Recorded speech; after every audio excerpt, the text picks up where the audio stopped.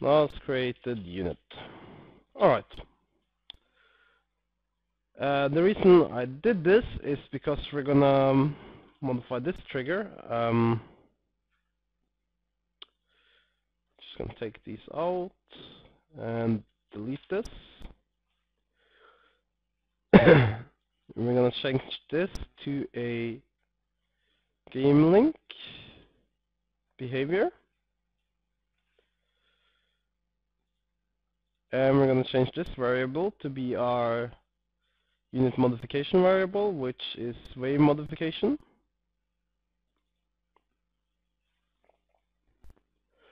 Alright. And we're going to rename this to modif behavior. Uh, spawn delay we don't need to set, unit amount we don't need to set. However, we will need a unit number here. And instead of using temp int here, we're going to use the parameter unit number. So if that was too messy, uh, this one will add the behavior, this behavior, to this unit number in the last created wave. So here we set the variable of the last created wave and this unit number to the behavior. Adds uh, behavior to the unit specified in the last created wave. Sorry. And there we go. Now if we go into the init waves, I could add a new action here. Add modification to unit. The reason I created this last created unit function is now I can just go here and last created unit number. This way it's very easy to copy paste this thing down because I don't have to edit the unit number to check, oh, what unit is this? Okay, this is unit number 2, so I have to go in here, change the value to 2, since it's a colossi, it's number 2 in the array. Instead, I just have this last created unit, and I, it will just be in order. So now you can very easily, even if you have 20, 30, 40 waves, if you add a few comments in between, like this, and you type like end of wave 2, in my own map, I just took one of these comments every five levels, so end of wave 5, so I, and then end of wave 10, and so on. So I could easily scroll down and find the wave I wanted quickly, and then I could easily modify these few variables in here. And hopefully you will also see that this is a lot easier to read and edit compared to having uh, three vari setting three different uh, arrays here and then another array here for each wave. You could even have the modification, you could even put the modification in here directly if you wanted to. But I'm going to do it this wave just for the sake of showing the principle. So obviously we need a behavior. So we're going to go in and create our own behavior in the data editor. Uh, this tutorial not it's not about behavior, but I'm still going to create a buff just for the sake of it speed buff, for instance, just it's going to be a buff. Okay.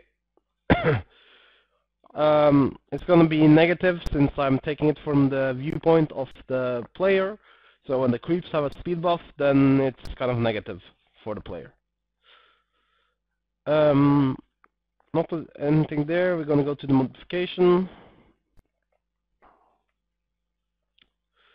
And we're going to find speed movement speed multiplier and we're just going to set it to 1.5 so this units will move 50% faster. You could change the icon. I like to use the ability icons because they look quite neat. So if I drag this in so you can see it. Ability and you just find Zealot speed is good. So we're just to find um, Protoss charge. It's fine for a speed buff. Alright, that's it. We set up our speed buff. Uh, we want might want to make a prefix so that we can easily find it again. So this is the unit spawner tutorial, UST. There we go. So later on we can just type UST up here, and if you have 20, 30 buffs, you could find them all. Or you could just name it creep or something like that to easily find your creep buffs. Alright, so we go back into data editor, and we delete this Colossus thing here. We're just gonna add some value, and we type UST, and what do you know, our UST speed buff. I can easily copy this up and for instance add it on the Marines as well and I don't even have to change anything. Alright, and now we need to make a function to apply this um, this new modification. So I'm just going to add a new action, spawner, internal, apply unit modification. There we go, and do not call directly. Internal use only. Parameters, uh, unit. I'm going to take the unit in, and this is going to be a unit. And we will take in um, I'm just actually going to take in the, hmm, yeah, we're going to take in the wave number. And we're going to take in the unit number. Alright. Uh, you could do this differently, uh, but I'm going to do it, you could have done it directly in the spawner since you just have one modification per unit.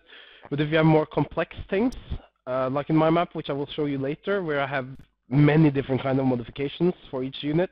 I have level modifications, I have uh, one-shot custom modifications to add some ran randomness to my levels, and I have difficulty modifications.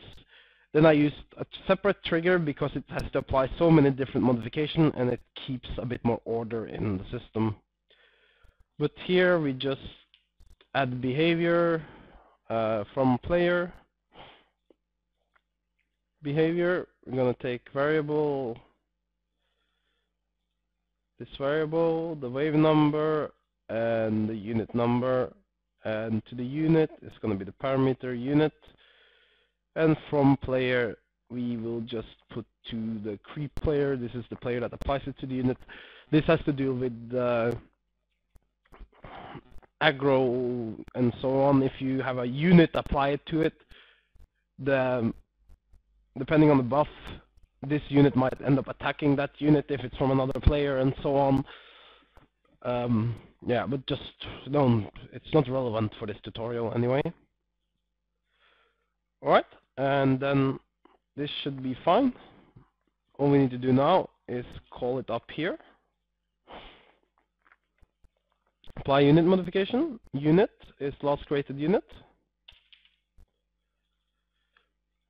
wave number is the wave number and unit number is the unit number and that's it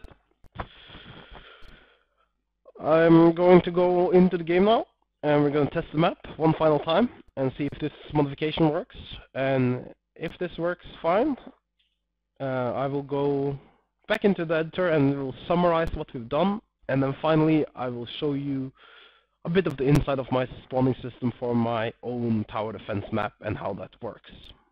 So let's go into the game.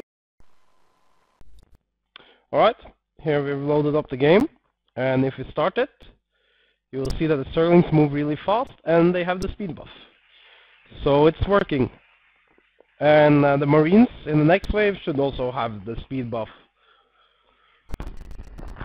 Let's see. Yes, the Marines have the speed buff as well. They're running really, really quickly. Alright, so let's go back in the editor and review everything we've done. Alright, so here we're back in the editor. Let's go for the full recap here.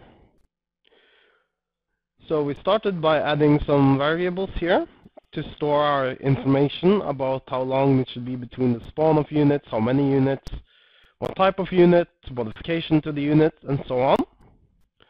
Then we added this add wave, which simply increased our current wave and total number of wave variables. Then we have this add unit to wave, which will loop through the units in the last added wave and check if there is any unit in the current slot. If it's not any unit in the current slot, it